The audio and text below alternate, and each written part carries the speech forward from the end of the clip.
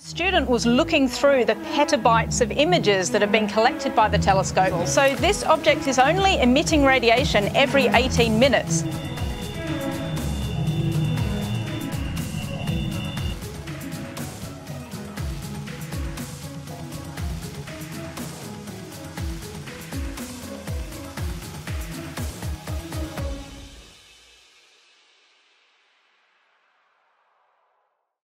Space exploration has provided us with a wealth of information, which has allowed us to create inventions and technologies that have made human existence simpler, while also allowing us to discover more and explore farther into the cosmos.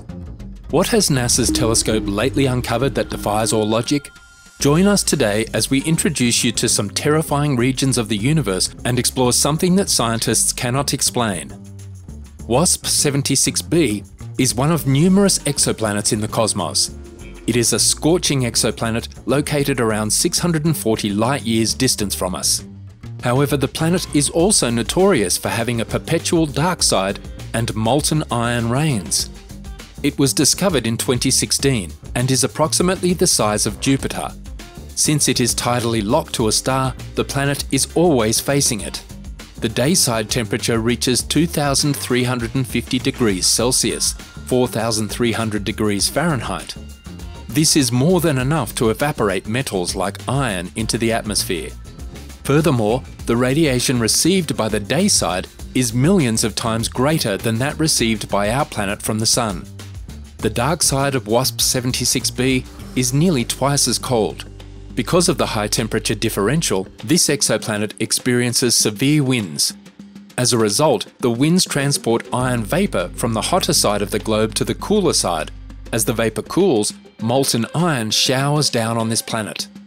That's strange enough, but not as strange as the planet known as PSR J17191438b. But what makes it so impressive? This exoplanet is 3,000 times bigger than its host neutron star. Furthermore, it was not always a planet, it was once a star. But first, let's go back to the beginning. The exoplanet is around 20 kilometres, 12 miles wide, and circles an extremely dense and small neutron star.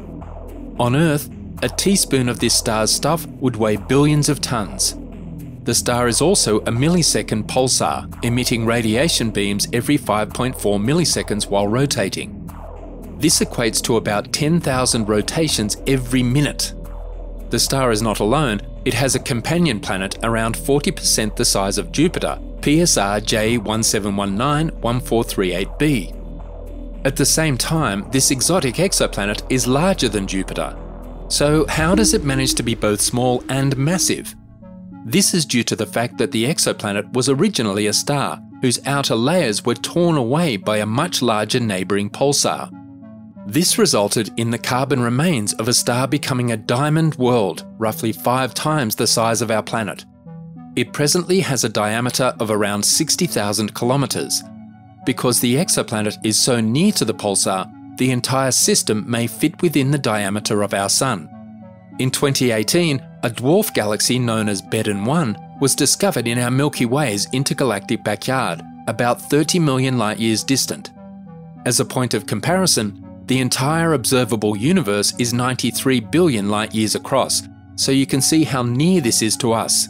Because of its tiny size, low luminosity, absence of dust, and elderly stellar populations, Bedin 1 is classified as a dwarf spheroidal galaxy.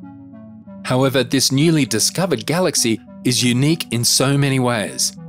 To begin with, it is tiny, measuring just 3,000 light years from side to side. To put this into perspective, Consider that the Milky Way's famed spiral disk has a diameter of 100,000 light years. Furthermore, Bedin 1 is around 2 million light years from any other giant galaxy, making it the most isolated dwarf galaxy ever discovered by man. Loneliness isn't necessarily a bad thing in the universe. It means that the dwarf galaxy hasn't had any interactions with other galaxies, However, the most important fact is that Bedin 1 is estimated to be as old as the universe itself, roughly 13 billion years old. And due to this isolation, Bedin 1 is the equivalent of a living fossil from the dawn of time. Only time will tell how many secrets this old galaxy keeps from us. When it comes to unsolved deep space mysteries, one thing is certain there are still many outstanding things and objects to uncover. The Global EMU project, centred in Australia, comprises a team of over 300 scientists from 21 nations. This team of experts is tasked with surveying the whole southern sky as far north as 30 degrees. The ASKAP telescope, which can survey wide swathes of the sky fast and look where no other telescopes have looked before, will be used by EMU to generate a better resolution radio map of objects in the southern sky. But assume for a second that you're one of the scientists utilising this telescope and you happen to notice something so unusual that you end up calling it Object WTF. This is exactly what happened in September 2019 to radio astronomer Anna Kapinska, she saw a strange form that seemed like a ghostly circle of radio emission hanging out in space like a cosmic smoke ring while reading through observations conducted by the EMU project utilizing the revolutionary new ASKAP telescope. A few days later, another EMU team member, Emil Lenc, discovered a second ring that was even creepier than the first. And despite ruling out all apparent explanations for these bizarre objects in their newest investigation, the EMU team is still striving to figure out where they originated from. The EMU astronomy team anticipated from the start that exploring the unknown would lead to surprising discoveries. They didn't expect to observe an abnormality like the strange ORCs so early, and the discovery took the researchers by surprise. Although our scientists have a good knowledge of how our universe works, they have barely scratched the surface. To put it into context, astronomers focused the Hubble Space Telescope at a black speck of sky so minuscule it could be covered by Abraham Lincoln's eye on a dime held at arm's length some years ago. With that little patch of black sky, scientists identified 3,000 points of light, each galaxy containing an average of 100 billion stars. Only four of these ORCs have been discovered in all of space. They have no idea what they are, how far away they are, or how they came to be. The scientists first believed the finding was caused by a software glitch, but they were quickly verified to be genuine after independent confirmation was supplied using the Australia Telescope Compact Array and the Murchison Wide Field Array. So far, scientists have only been able to rule out possible explanations for the mysterious circle. They can be observed in the radio spectrum, but when other types of telescopes were aimed at them, the unusual radio circles were not visible at all. None of the ORCs had any evident optical, infrared, or X ray analogues, making life tough for those investigating them. ORCs 1 to 3 were detected by visual assessment of EMU survey photos, whereas ORC 4 was located in archived data obtained with the Giant Meter Wave Telescope in March 2013. This indicates that prior to the ASKAP telescope, astronomers might have been looking at these objects for years without ever spotting them due to inadequate instruments. The most difficult challenge that astronomers face when it comes to ORCs is that circular features are irregular occurrences in radio astronomy.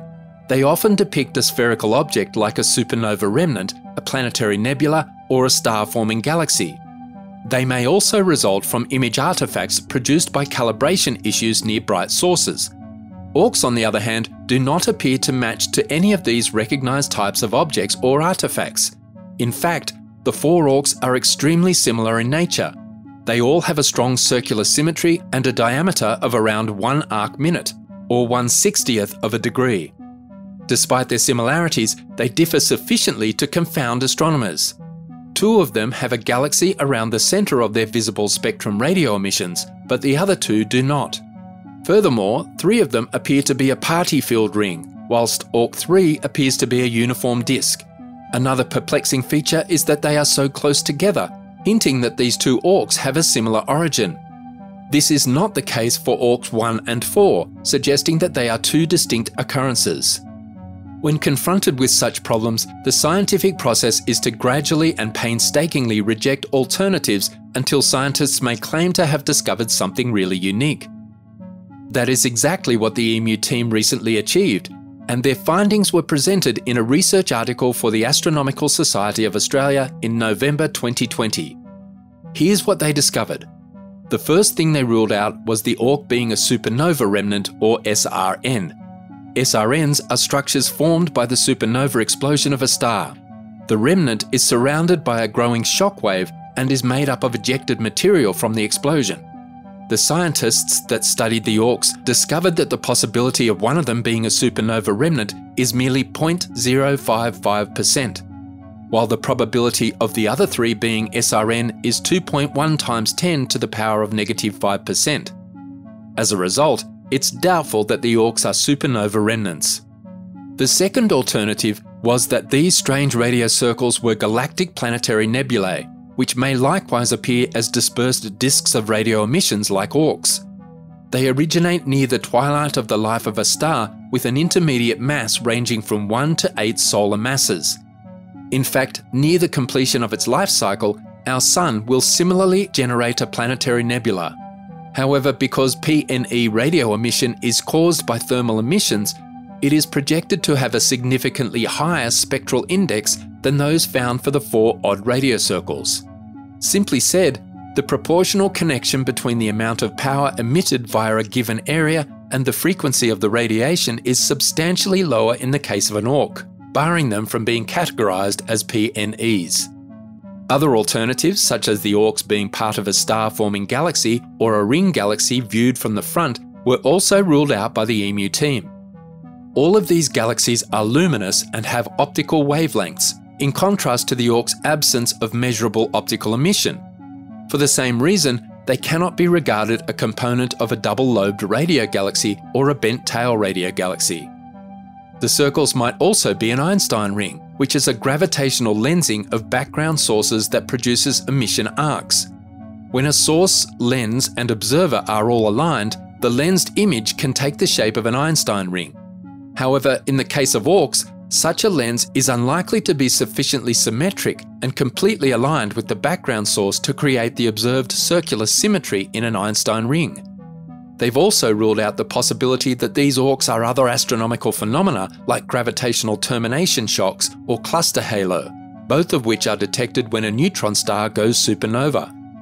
The majority of astronomical study is focused at improving our understanding of the cosmos or testing hypotheses.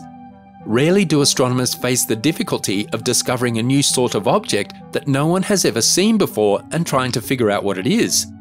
The story behind these new spooky circles continues. Astronomers must constantly ask themselves if these orcs are a completely new phenomena or something they already know about but have been examined in an unusual way. And if it is truly unique, how does it alter our knowledge of the universe? So, what do you think? Let us know in the comments.